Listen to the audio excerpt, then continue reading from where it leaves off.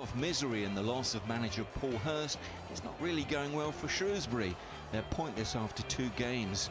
At the Valley, they held out for more than an hour before George Lapslie supplied the ammunition. Lyle Taylor grabbed the chance, his second league goal since arriving from Wimbledon.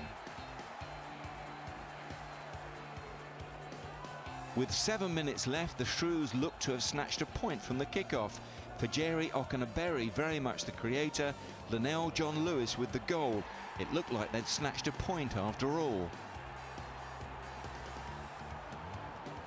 But in the 91st minute, a killer blow. Darren Pratley did well to create the chance.